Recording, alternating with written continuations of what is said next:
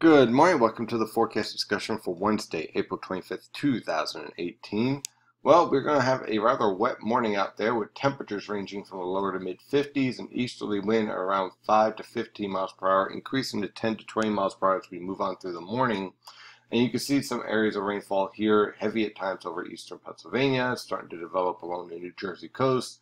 Just a wonderful conditions for uh, the morning rush hour just in time to start. Very heavy rainfalls on the way. And that, of course, is going to lead to some delays. So definitely expect that as you head in for this morning. This low pressure system, currently over central North Carolina, will be lifting northward towards the New Jersey coast and into eastern New England by the time we get to this evening, leading to periods of heavy rainfall throughout the day today and some windy conditions. On the radar, you can see that heavy rainfall starting to develop. We have one very heavy batch just off the New Jersey coast. Looks like it's uh, starting to pivot right into the coastal plain and heading towards Long Island. We have another area of very heavy rainfall over eastern Pennsylvania. And all this is going to consolidate as our low pressure system intensifies and lifts northward through the morning and into the early afternoon. By the time we get to the evening, we'll start to see more of a scattered nature to the showers and then clearing skies heading towards midnight. On the latest infrared satellite picture, we're watching this upper level feature right here. You see that little spin? This upper level low is going to start to pivot all of this strong lifting right into the coastal plain. That's going to lead to some very heavy rainfall expected right along the coast and also some periods of heavy rainfall also over the interior as well. Looking anywhere from a half an inch to an inch and a half of rainfall with some localized areas up to two inches of rain, leading to some urban flooding potential. Let's dive into this forecast. For today, periods of rain heavy at times. Temperatures will range from the upper 50s to lower 60s along the coast, mid to upper 60s everywhere else. For tonight, those showers start to leave, clearing skies towards tomorrow morning with winds from the west around 10 to 20 miles per hour. Look for lows in the upper 40s. For tomorrow afternoon, scattered cloud cover is expected with temperatures ranging from the lower to mid 60s throughout the region. Now this area of low pressure that will be over the southeast will lift northward by the time we get to Friday morning with periods of showers, a few heavy downpours are possible.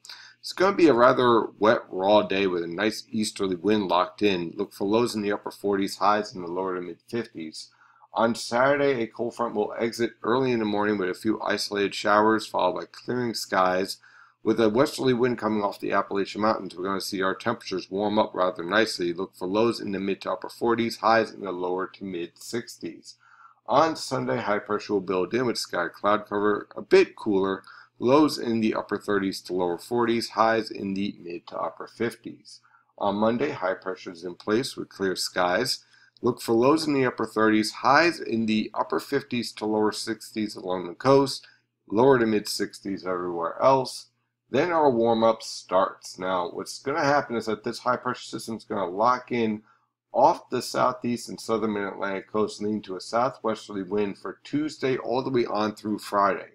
And that means a nice warm-up is on the way. On Tuesday, look for lows in the upper 30s to lower 40s, highs in the upper 60s to lower 70s along the immediate coast, upper 50s to mid 60s on Long Island because we're going to get that southwesterly wind right off of the Atlantic Ocean. But in the Delaware River Valley, we're talking about highs in the lower to mid 70s.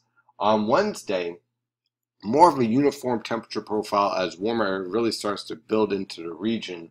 Look for temperatures to range from the mid to upper 40s for lows, upper 60s to lower 70s on Long Island, lower to mid 70s along the immediate New Jersey coast, and then mid 70s to lower 80s throughout the rest of the region. Warmest conditions, of course, will be in the Delaware River Valley. And for Thursday and Friday, we're basically looking at similar conditions, a bit humid, with dry weather conditions, lows in the lower to mid 60s, highs in the mid 70s to lower 80s throughout the region. But don't get used to those temperatures because our warm end to next week is going to be met with a rather strong cold front by next weekend with temperatures falling right back into the 50s, 60s, and lower 70s for highs. So certainly enjoy the warm end of the week and a warm up on the way, but just don't get too used to it because unfortunately we're going to be falling right back into our cool weather pattern. That is your forecast discussion for today. I'm your meteorologist, Steven DiMartino, and as always, stay safe out there.